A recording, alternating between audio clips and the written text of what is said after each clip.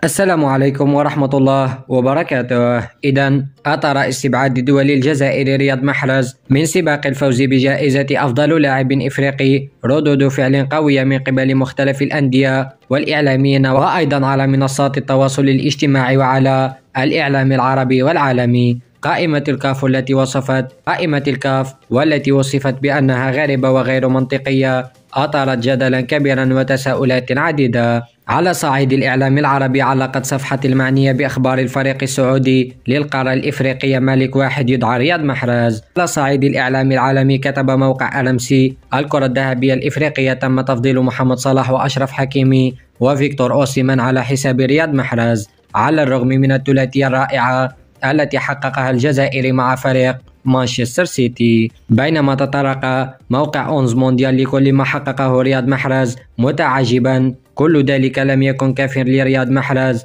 للفوز بلقب أحسن لاعب إفريقي. وفي الأخير إذا أعجبكم الفيديو لا تنسوا الاشتراك في القناة وتفعيل الجرس. ليصلكم كل جديد.